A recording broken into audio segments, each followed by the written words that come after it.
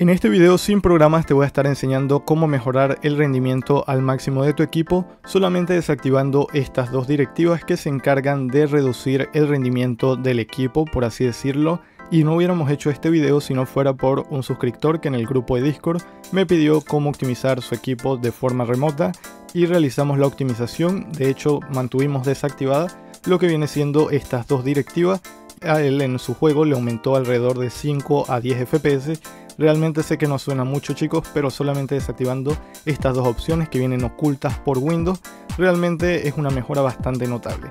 Ya vamos a ir viendo cuántos FPS me aumenta con mi equipo, porque ya sabemos que mi equipo realmente, eh, por así decirlo, ya está lo más optimizado posible. No sé si va a aumentar los FPS, pero ya veremos. Primero que todo vamos a dirigirnos a los planes de energía para ver cómo yo lo tengo configurado. Vamos a darle un clic acá en la primera opción que nos aparece como vemos yo tengo este plan de energía que es el modificado del canal, el cual te va a otorgar el máximo rendimiento a la hora de jugar. Y si nos vamos a la configuración avanzada, nos podemos dar cuenta que en administración de energía del procesador tenemos habilitado estas 6 directivas. Usualmente en un Windows original solamente viene activa 3 directivas, vamos a habilitar estas dos directivas nuevas para mejorar el rendimiento al máximo. Yo les recomendaría ver los anteriores videos para que no se pierdan de estas directivas que realmente mejoran muchísimo el rendimiento a la hora de jugar. Una vez dicho esto, vamos a cerrar este apartado. Para habilitarlas, primero que todo en el escritorio vamos a presionar las teclas Windows más R. Una vez se abra ejecutar, escribimos regedit. Le vamos a dar en Enter. Y como vemos chicos, realmente, eh, bueno, pues tenemos lo que viene siendo estas opciones eh, ya abiertas, nos vamos a dirigir en HK Local Machine. Nos vamos a System. Buscamos Current Control Set. Control. Buscamos eh, Power, que debe estar por acá abajo. Bien. A ver. Acá. Power. Acá buscamos Power Setting. Y ahora tenemos demasiadas carpetas. Lo que vamos a hacer es desplegar esta carpeta que está por acá como vemos es la que tiene estos guioncitos, la de arriba no las tiene. Y una vez acá chicos, eh, simplemente vamos a buscar la siguiente carpeta.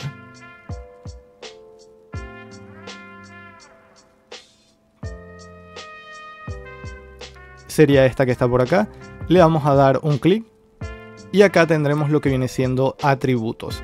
Le vamos a dar doble clic, todavía mantenemos en hexadecimal, cambiamos el 1 por un 2 y le vamos a dar en aceptar no nos salgamos de acá porque vamos a habilitar eh, lo que viene siendo la otra directiva, la cual sería esta, que está por acá, termina en 6, y de igual manera atributos cambiamos el 1 por un 2.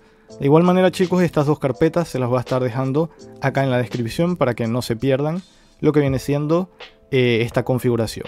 Una vez lo tengamos configurado, las dos opciones en atributos 2, sin reiniciar el equipo porque esto se hace de forma ya de una vez sin reiniciar la computadora, vamos a elegir el plan de energía y al configurar nuestro plan de energía podemos darnos cuenta chicos que efectivamente se nos han habilitado estas dos nuevas directivas, el umbral de reducción de rendimiento del procesador y la directiva de reducción de rendimiento del procesador. Como estamos viendo chicos son dos directivas que suenan prácticamente igual, pero su algoritmo es diferente. En este caso si abrimos esta nos marcará que por defecto viene en sencillo. Eh, la mejor opción eh, que estuvimos probando con el suscriptor es dejarlo en ideal. Así que una vez dicho esto, vamos a seleccionar esta directiva, lo cambiamos de sencillo a ideal y el umbral de reducción de rendimiento, como estamos viendo, él actualmente nos va a marcar 10%. Lo que vamos a colocarlo es en 5%. Eh, en el suscriptor solamente dejó bajarlo hasta 5%. Si a ti te deja colocarlo en 0%, lo dejas en 0%. De esta forma tu equipo siempre estará con un rendimiento constante.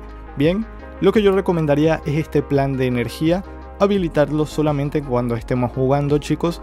Cuando dejemos de jugar podemos cambiar este plan de energía a un plan más equilibrado, por así decirlo, más estable, pero simplemente cuando dejemos de jugar. Cuando estemos jugando simplemente habilitamos el plan de energía que ya modificamos de la siguiente manera. Recuerden, si los deja en 0%, lo marcan en 0%. Si los deja bajar solamente hasta 5%, lo dejan en 5%. y la directiva de reducción de rendimiento en ideal. Una vez dicho esto chicos vamos a darle en aceptar, vamos a abrir algún juego, vamos a hacer algunas pruebas. En mi caso ya yo había hecho algunas pruebas antes de realizar esta configuración. Así que vamos a abrir un juego para ver cómo se, eh, sería con esta configuración ya aplicada. Así que nos vemos dentro del juego. Para empezar con las pruebas decidí utilizar este mapa del Counter-Strike 2, el cual realiza un pequeño recorrido en donde vemos que pasan diferentes cuestiones en el mapa que afectan el rendimiento. De esta forma ya podemos darnos cuenta acá con los FPS normales, por así decirlo. Eh, esto vendría a ser el benchmark eh, sin la configuración aplicada, donde vemos que tenemos un medio de 93 FPS, un promedio de 106 fotogramas y el 1% de las veces solamente bajó a 49 fotogramas.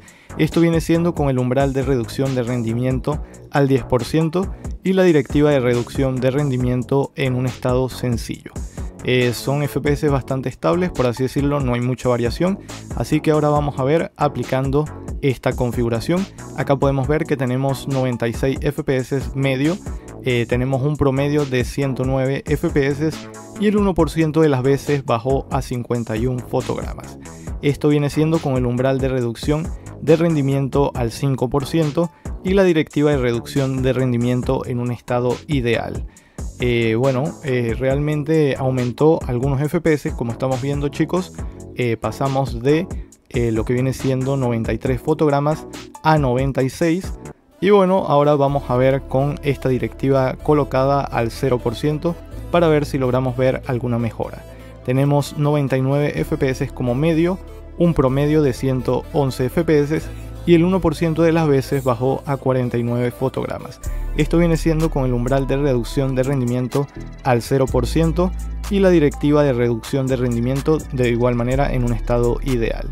Pude haber hecho más pruebas con eh, lo que viene siendo la directiva de reducción de rendimiento en sencillo, pero no eh, varía tanto como aplicando estas dos configuraciones. Ahora bien, sé que va a haber comentarios eh, con respecto a las temperaturas y acá yo decidí también hacer las pruebas dejando abierto lo que viene siendo el programa de Hardware Monitor, el cual te permite ver las temperaturas tanto del procesador de la gráfica y realmente chicos son temperaturas por así decirlo bastante estables lo máximo que me alcanzó eh, mi procesador jugando bueno más prácticamente realizando lo que viene siendo estas pruebas fueron de 64 grados eh, recuerden que dejé el programa abierto para realizar eh, todas las pruebas y 64 grados realmente no me parece una temperatura tan elevada, considerando que bueno, pues cerramos el juego, lo volvimos a abrir y así sucesivamente para realizar todas las pruebas. Así que chicos, no me queda más nada que decirles, que se me cuidan y hasta luego, no olviden dejar algún comentario con alguna duda que tengan y nos veríamos en un siguiente video.